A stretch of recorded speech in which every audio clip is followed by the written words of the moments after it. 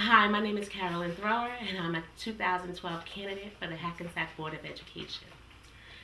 As a mother of two who attend Hackensack Public Schools, I find that this is a critical time for us to be involved in our children's education. As a mother of two children who currently attend the Hackensack Public School System, and the current second vice president of the Hackensack Middle School PTA, I understand the importance of, a, of us being involved in our children's education. I am a certified teacher, K through 12, and I also have a degree, a Bachelor of Science in Psychology and a Bachelor of Arts in Sociology. I want to make sure our teachers get the support and the materials they need to develop a curriculum that is forth, forthcoming and 21st century. I believe that our students deserve it I believe that our parents, we have parents that want it. I believe that if we as a whole come together and voice our concerns, which I'm willing to listen to as a board member, we will get the results that we all want. My commitment and dedication to serve a three year term on this Board of Ed is so to ensure that your children are getting what they deserve.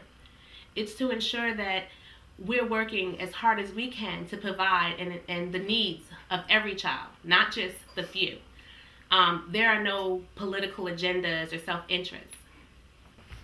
As a parent concerned with our failing school system, I am a voice for our children. I'm a voice for accountability and stability within our school system. It is important that you get out. You get out and you voice your concerns. You become a voice for our children.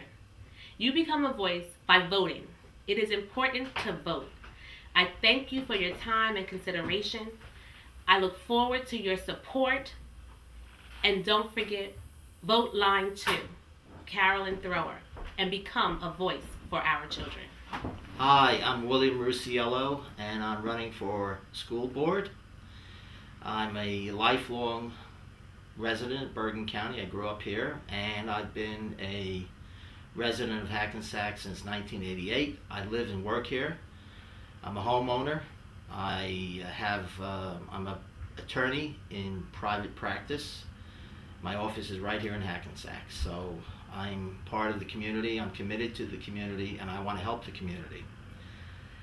This is why I'm running for school board, because we have to uh, maximize our resources right now. This is a time of limited resources and we have to get greater efficiency from our resources and uh, obtain everything that we are entitled to. With regard to uh, last year, just for an example, last year um, the school board did not use a government grant of $100,000 and as a result uh, of it not being used, that money is now lost forever. We cannot afford that kind of oversight. And if I'm elected, I will make sure that we obtain every government grant that we are entitled to and we use every government grant that we are entitled to. I've spoken to an elementary school teacher who told me that her class does not have textbooks because of budgetary problems. She only has readers, five readers, and they have to be photocopied for the rest of the class. I've spoken to a recent graduate who told me that his social studies, studies textbook was over 40 years old. Now, when you have situations like that, you know something's seriously wrong. Uh, so, we have got to do something about that. We've got to give our students the tools to the 21st, uh, for the 21st century. And we've got to uh, come up with new ways of handling our, uh, our resources. So I ask that uh, one of one of the one of our um, programs or one one uh, way of maximizing our resources is by going green, for instance.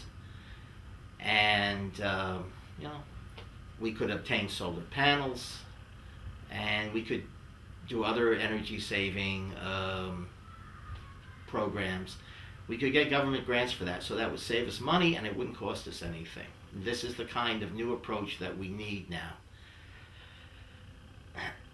when five out of six of our schools are not uh, uh, have a 40% rate in which we are not uh, have not reached um, uh, are below academic standards and when the state is threatening to uh, take over our school system, you know something's seriously wrong. We need change. We need new approaches.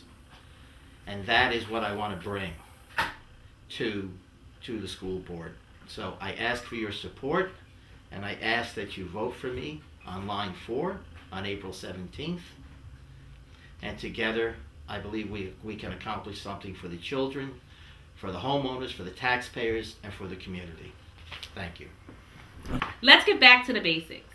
A voice for our children. The, The answer, answer is vote vote line two and line four.